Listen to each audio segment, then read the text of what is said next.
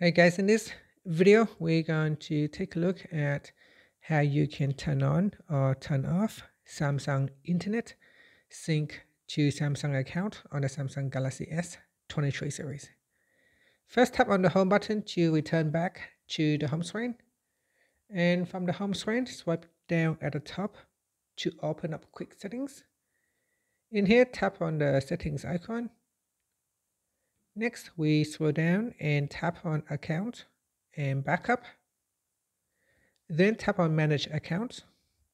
Next, we scroll down and open up Samsung account. Then in here, tap on Sync Account. After that, tap on Samsung Internet. Tap on the toggle button to switch it off or turn it on.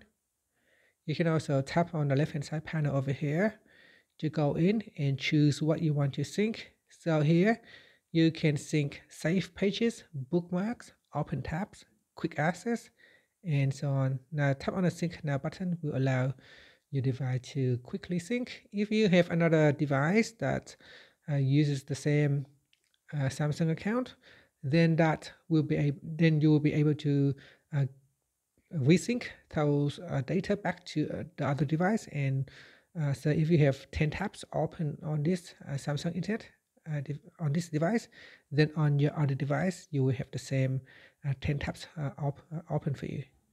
And that's it. Finally, you can tap on the home button to return back to the home screen.